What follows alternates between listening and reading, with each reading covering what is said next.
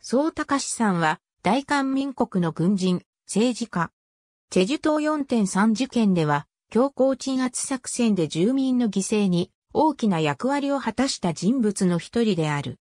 朝鮮戦争では、首都師団を指揮し、韓国軍の猛将として知られた。休戦後は参謀総長を務めた。4月革命の時、海軍司令官であったが学生に対して行為的中立を保ったため李承晩政権崩壊の決め手となった。1918年2月13日、中世南道青尾で生まれる。下城公立普通学校卒業。強制労働に惹かれるより、兵士になった方がいいとして、陸軍特別志願兵を死亡した。しかし体の障害により脱落。それでも挫折せず、地の滲むような努力で障害を治し、1939年の陸軍特別志願兵第2期選抜に合格した。陸軍兵志願者訓練所を修了して、第20師団所属で陸軍兵志願者訓練所助教として活動した。最終階級は総長。1946年4月25日付で軍事英語学校を卒業、2位将尉。第5連隊の創設に参加し、同連隊英中大将隊長、中隊長を歴任。同年9月、僕平県中尉らと共に、高陵の第8連隊に派遣され、同連隊の編成を援助した。1947年3月、第8連隊第3大隊長。盛況な大隊の建設をモットーに、3ヶ月の訓練期を定め、連日連夜にわたって、もう訓練を続けた。将校の中には、過労で倒れる者もいた。さらに、訓練期間中は外出を禁止し、家族との面会も許さなかった。将兵に不満が蓄積し、大隊長を集団暴行する事態に発展した。1948年6月、第11連隊副連隊長。1948年7月、第9連隊長となりチェジュ島のゲリラ討伐に従事。1948年10月17日、次のような布告文を出した。本道の治安を破壊し領民の安住を脅かし、国権の審判を起とする一部不純分子に対し、軍は政府の最高政令を放示し、これらの売国的行動に断固鉄椎を下し、本道の平和を維持し民族の栄華と安全の大技を遂行する任務を持ち、軍は激烈者を徹底粛清しようとするので、道民の積極的で犠牲的な協調を要望するものである。軍は、春ら山一帯に潜伏し千人と戻すべき蛮行を強行す売国激烈分子を相当するために、10月20日以後、軍行動終了期間以前も海岸線から 5km 以外の地点、及び山間地帯の無許可通行禁止を布告する。1万1、この布告に違反する者に対しては、その理由違反に関わらず暴徒やからと認定し、銃殺に処するであろう。ただし、特殊な用務で山岳地帯通行を必要とする者は、その請願により軍発行特別通行証を交付しその安全を保障する。布告文この布告文にある 5km 以外の地点は山岳地帯のみに限定されたものではなく、海辺を除外した中山間の村すべてが該当し、中山間の居住を禁止すると同じことであった。1948年11月中旬から強行鎮圧作戦が展開された。11月以前は主に若い男性が犠牲になったのに対して強行作戦中は老若男女問わず射殺した。そのため犠牲者の大部分は宋の在任中にできたものだった。4.3委員会に申告された犠牲者統計によれば、犠牲となった15歳以下の子供で、宋の在任中に発生した犠牲者は全体の76.5%、61歳以上は全体の76.6%であった。さらにゲリラの根拠地をなくすために中山幹部の村は焼かれて焦土化した。1949年2月、第9連隊はソウルに移動し首都旅団に編入。1949年5月、東海岸の第10連隊長。この時、38度線で紛争が多発し、第9連隊の正面でも常用の遊撃隊訓練所を卒業したゲリラが越境して警察を襲うことが多くなり、耐えかねた総連隊長は処罰を覚悟の上で訓練所の粉砕を決意し、上官に愚信せず極秘裏に第一大隊に攻撃を命令した。この北進事件で宋は解任された。同年9月、第15連隊長。1950年4月、憲兵司令官。朝鮮戦争勃発時、ソウル陥落直前に、韓国銀行から金塊をトラックに積んで不山まで運搬し、国家財産を生かすのに貢献した。ソウル陥落後、憲兵を陣頭指揮して、落語兵を収容。6月27日頃、憲兵司令部は、南道統計や歩道連盟関係者を予備検測して、処刑するよう無線指示を下した。これを受けて、陸軍刑務所所属憲兵は、西大門刑務所の思想犯、政治犯を処理し、以後も水原、平沢、甲州、大谷交代しながら任務を遂行した。甲州憲兵隊長に刑務所の受刑者や歩道連盟関係者を処刑するように命じた。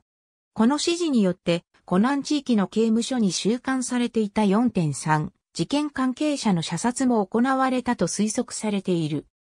甲州、全州、木浦刑務所に最終監中の囚人及び法、同連盟関係者その他の被験者は、全国の関係機関長、警察局長、刑務所長、検事長との話し合いで、即決処分にし、窃盗その他の不明は、仮出所などの適切な方法をとり、各警察に留置中の被験者も前期に基づき処置せよ。命令書1950年7月12日、予防抗菌特別措置令を布告。改元法第13条の軍事上必要時に逮捕、抗菌に関する特別措置を取ることができるが、事前に発表しなければならない規定であり、開戦直後から行われている憲兵隊の不法民間人予備検測の法的根拠を一歩遅れて用意したものだった。1950年8月、テグ防衛司令官。1950年9月1日、首都師団長。慶州で北朝鮮軍の攻勢を阻止した。9月21日、準将。その後の北進作戦に参加し、11月にはソ連、満州国境付近にまで進出するが、中国人民志願軍の介入で撤退することになった。12月、江南から隅古港に上陸し、翌年1月に高陵を占領。その後は主に東海岸の戦闘を指揮した。1951年5月、中国軍の5月構成では、軍団長の命令により、大関峰を確保し、中国軍の高陵進出を遮断した。1951年11月、首都師団は白野戦戦闘司令部に編入され、チリ山の南部軍討伐作戦に参加。1952年、討伐が完了すると、再編された第二軍団に配属されて、春戦北方に移動し、首都高地の戦闘を指揮。ゲリラ討伐の経歴を高く評価され、1952年7月、少々昇進と同時に、西南地区戦闘司令部司令官に就任。同年10月、再び首都師団長となり、指方治療戦の戦闘を勝利に導いた。アメリカ陸軍式幕僚大学留学待機中の1953年7月に第8師団長に任命。近城の戦いで指方治療戦と690、高知を奪還した。休戦後、アメリカ陸軍式幕僚大学に留学。帰国して、1954年8月、第3軍団長に任命。同年9月、中将に昇進。1957年5月、第1軍司令官。1959年2月、陸軍参謀総長。大々的な改革を断行し、軍の企画管理制度を確立した。また、将校の粛清を開始し、これについて、フィリップ・チャールズ・ハビブは、軍将校の粛清は、総高志さん参謀総長によって始められ現在に至るまでかなりの速度で進み、将校の除去は韓国軍内の派閥の縮小をもたらした。派閥から独立し、敵対的だった総高志さんがこのような過程の主要な行為者であった。排除された将校の中にはいくつかの優れた将校が含まれているが、訓練と経験でいくつかの避けられない犠牲を払って競争力と訓練の水準は以前よりも改善されたとみられると評している。1960年4月、4月革命が起こり改元、司令官に任命。デモ隊に発砲命令を出そうとしたが、再継録に引き止められたため中止した。高麗大学校に集まったデモ隊を退去させるとき、学生は、ボートではない。放火犯を除いてすべて釈放せよと命じた。1960年5月23日、予備役編入後、ジョージ・ワシントン大学に留学。1961年6月、国家再建最高会議企画委員長、県国防部長官。同年7月、外務部長官。四大疑惑事件が起きて、軍事政権の若手実力者と衝突すると、牧世紀の引き止めにもかかわらず辞任した。軍事政権が民政以上を約束した1963年になり、牧世紀の退陣運動が激しくなると、総隆さんも1月7日午後、新道道の自宅で牧世紀の下や要求声明を出した。